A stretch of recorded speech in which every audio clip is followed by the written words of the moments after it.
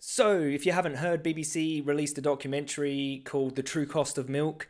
And as you can imagine, all of the dairy farmers are pretty upset about it. Even when there's the slightest criticism of the dairy industry, they all get up in arms and join hands together and scream biased hit piece against the dairy industry, even if it's completely what I think was balanced and pretty unbiased, actually. There was no vegan messaging in there. It was just a pretty well made, um, unbiased uh, documentary. What did I think of the documentary? I think they uncovered the the investigations were good. Uncovered uh, some sickening abuse, kicking cows, hitting calves and cows with shovels, leaving sick cows to suffer uh, without being euthanized, uh, dragging cows, downed cows by their hips and dragging their face across the ground, and you know just went into a little bit about Red Tractor and had good old Abi, who was in Veganville, like the mouthpiece for the dairy industry. So, all in all, the investigative work was very powerful and, you know, obviously quite distressing.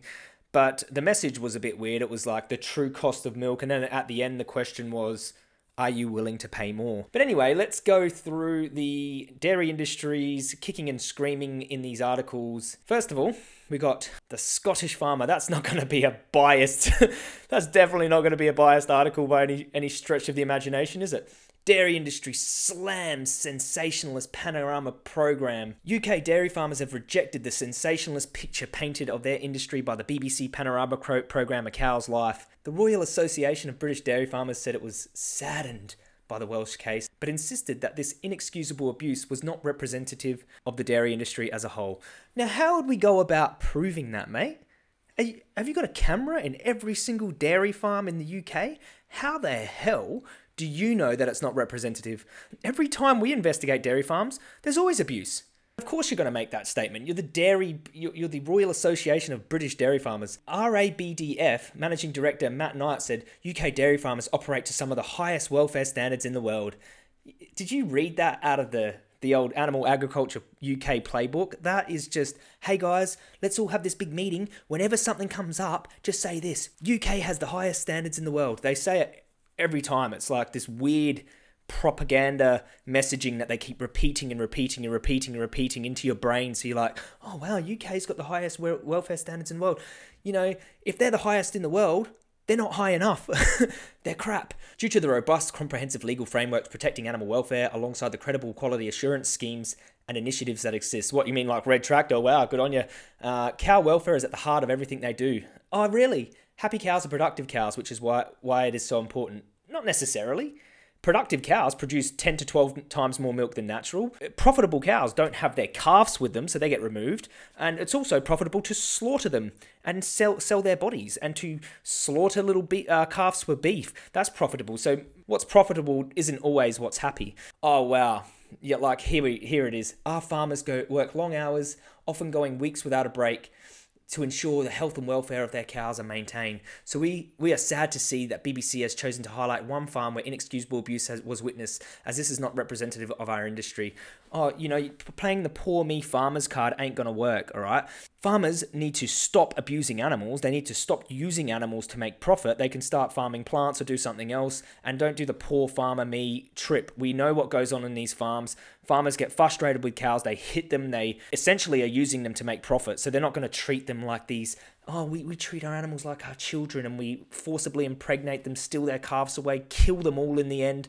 So there's just one farm that does this, hey? Just one farm, and there hasn't been other investigations you got to remember dairy farming is a business, all right? And anything that hurts their business, they're going to come out against. The only reason they care about how they're represented is because it's going to affect their sales, their profit margins. Don't be hoodwinked by all of this rhetoric like our poor farmers working hard to feed the population. It's all nonsense.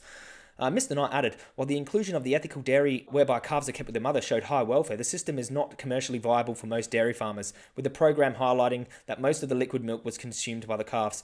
You know, see, they don't they don't care about what's better for the animals if it affects their profit margins. The program did, however, highlight the fact that many farmers are losing money or making very little money, which is important as the value of milk is under, underestimated by the vast majority of consumers, both in monetary and nutritional terms.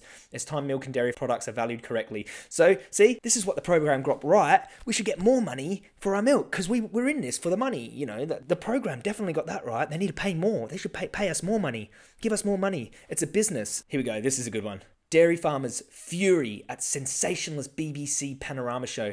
It was not sensationalist. It was not. It was like proper BBC unbiased work. Like, if you think that's sensationalist, just because they showed investigation footage, then I don't know what to tell you. Just because it didn't praise dairy in every way and completely avoid all of the ethical problems with dairy, you think it's sensationalist. It's, it's absolute nonsense. Furious Norfolk dairy farmers said a sensationalist depiction of animal abuse in the BBC Panorama pro- program gave an unfair reflection of their industry.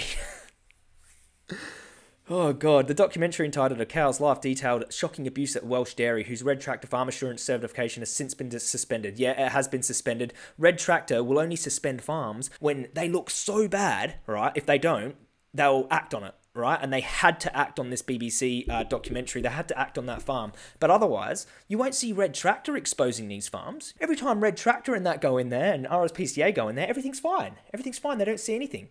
It's always animal people exposing these places. It's never the industry itself. Norfolk dairy farmers said the focus on one abusive farm painted an unfair picture of animal welfare standards across the whole industry. It doesn't matter what the standards are, mate. It matters what happens to these animals in reality. There could be all these standards on paper that aren't being adhered to. Because guess what? No one's got eyes on your farm at all times, do they? Do they? Do you have cameras operating at all times? It's a fact that whenever you put hidden cameras or investigators in these places, something horrible is going on one way or the other. So we have to go with the evidence that we have. We don't just go by the opinions of the people who are making profit from this industry, because that would be pretty stupid, wouldn't it? Hey, I'm making a bunch of money from dairy. Everything's fine here, guys. Everything's fine here. And then the people who don't have anything to gain, right? Animal people who are just actually have the animal's interest at heart are showing you that there's something going on here. We don't have higher profit margins as activists if more people stop eating dairy, do we? We don't have a monetary incentive for people to stop eating dairy. The farmers have a monetary incentive for you to continue eating dairy, which is why they're doing all this damage control. So let's go into this one for a second here. Red Tractor terminates farm after BBC uncovered animal abuse. Just notice this title here. Red Tractor terminates the farm after the BBC uncovered the animal abuse. Not because Red Tractor uncovered the animal abuse. No. Red Tractor has terminated the dairy farm from its assurance scheme after BBC Panorama showed systemic uh, disregard for animal welfare on the farm. Yeah, well, they had to because if they didn't, they'd look pretty bad, wouldn't they? Program shows serious breaches of red tractor standards and the law, it said, as well as a systematic disregard for animal welfare by those with a duty of care. Well, the entire industry is a systematic disregard for animal welfare. They all get slaughtered for their bodies. The calves, the mothers, they get turned into leather jackets, they get turned into burgers. You know, that's a systematic disregard for animal welfare, no matter which way you look at it. They're, they're treated as products, they're treated as profit margins. Farmers only care about the animal's welfare as far as it serves their financial interest. That's it. Red Tractor assures over 11,000 dairy farms, which are required to meet robust standards on animal welfare. Well, there's only, I think there's only 12,000 in the UK, so Red Tractor assures most of them, okay? And every time you leave camera in a dairy farm, there's something horrible going on there. Just check out my documentary, uh, White Gold. That was about three or four nights in dairies, three or four nights, and we just seen, you know, calves separated, uh, animals pining for their mothers, you know, skinny, diarrhea ridden cows on concrete floors, just limping and horrible stuff. A Red Tractor spokesman said the unacceptable actions of staff on one farm in no way represents the vast majority of UK dairy farmers or British agricultural practices. Well, of course, you're going to say that, Red Tractor. You were founded by the NFU, National Farmers Union. You're basically founded by farmers for farmers. You have no independent scrutiny. You're just you know, a farming lobby group essentially founded you. so, of course, you're going to defend farming. You're, you're not an animal welfare charity. When you think about it, it's just a, a, a heavily biased organization. Red Tractor's system of routine farm inspections and unannounced spot checks go a long way to ensuring compliance with our standards. Oh, really? Then how come your spot inspections never make media headlines? How come that never happens? I've never seen Red Tractor um, exposes Dairy Farm for not adhering to their standards. What you do is you let the farmers know you're coming. If anything's seen, it's definitely, we don't see it reported in the media, do we?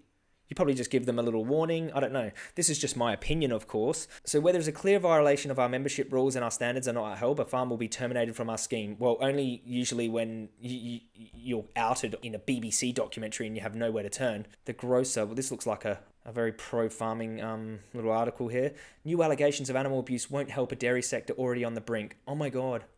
I I'm, I'm, i think I'm going to cry. A, a, dairy sector that's already on the brink. It's faced buffeting from declining consumption at various points, coupled with growing competition from plant based dairy alternatives, which, as we've seen in recent ads from the likes of Oatly and Alpro, are becoming increasingly vocal in their opposition to the sector. Processor Freshways was equally shocked. Uh, Freshways, I think, supply Costa. They were being supplied by this farm, I'm pretty sure. Processor Freshways was equally shocked by the expose and said it was working around the clock with Red Tractor to ensure these allegations were fully investigated uh, yeah, if there was a full scale investigation of your farms, I'm sure that you would find a lot more of that. It's just common, so common. There is also an under, understandable backlash from disgusted consumers on social media. Industry body Dairy UK added to those voices of condemnation this week. Well, Dairy UK, like, you should change yourself into non Dairy UK then if you really care. And of course, the consumers are going to be disgusted because you spend so much money propagating lies to them, propagating this humane fairy tale to them, that when anything descends from that, they're absolutely shocked and disgusted and don't want to buy milk anymore. It wouldn't surprise me if they never trust the dairy industry again. You can do as much damage control as you want, right?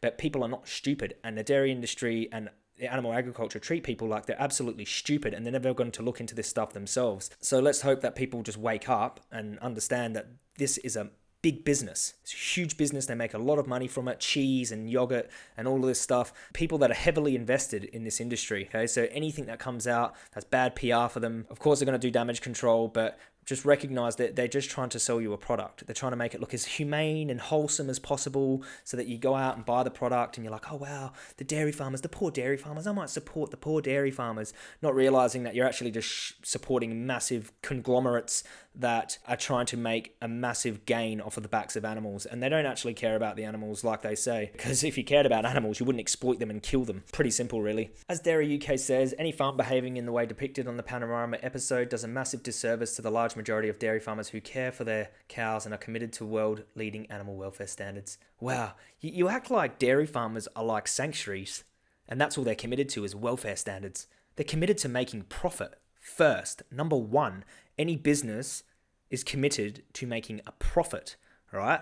They're not committed to animal welfare to start with. You act like that's their primary concern, animal welfare. No, it's not. Like, for example, they're producing so much milk that their bodies can't handle it.